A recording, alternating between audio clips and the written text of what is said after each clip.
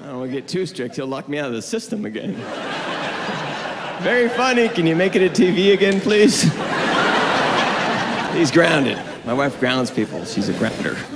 I come home from the road. She's like, guess who's grounded? I'm like, is it me again? No, Fletcher. Fletcher, oh, good. All right. I'll go talk to him. All right, kid, you're grounded. You can't play video games. Scoot over. My turn. which one am I? you know, if you have to ask which one am I, you suck. But I think I'm doing good. You know, I'm pressing all the buttons like crazy. He's like, Dad, that's not even you. That's the computer player. My guy's up in the corner. He's stabbing the wall. you got to teach me then. Help me out here. And, and, my wife pops her head, and he's not playing, is he? No, he's coaching. It's different. She goes, I'm taking off. I'm like, okay, make sure you pick up Josie from Girl Scouts. Oh, Girl Scouts, right. You know, clean up the house, right. Do the dishes, dishes. Would I just say dishes? Uh. Are you gone yet? Love you. So he helps me out for a couple hours. We do pretty good. You know, I get to this like level 70 troll.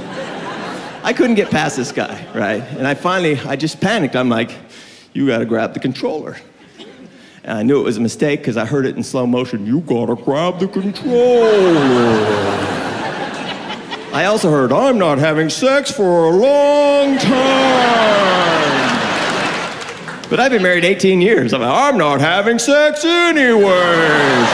Get the control. So now we're a team.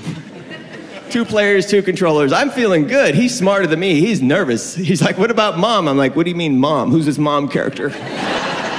you let me worry about mom, okay? You know? And we, this goes on for hours or days, or I don't know. At some point, there's empty pizza boxes. I'm like, We ate? Did we eat?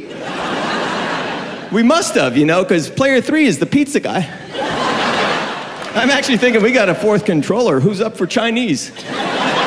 So this goes on and on for hours. We'd still be playing today if I hadn't heard the squeak of the brakes of our minivan pulling the driveway. And my wife keeps saying, You gotta fix those brakes. I'm like, Are you kidding? That's my warning signal. How else will I know you're coming? That's at the top of my to don't list. Now, right now, if I was smart, I would start putting things away quickly, right? But I'm not smart. I'm playing. I got no perspective. I got one wife and I got one life, and they're equal.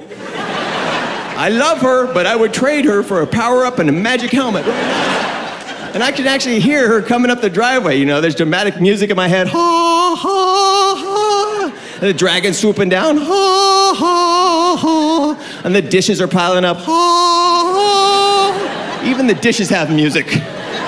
And I'm doing triage. I'm like, Fletch, do the dishes. Josie, clean up the room. He goes, Dad, you forgot to pick her up. No!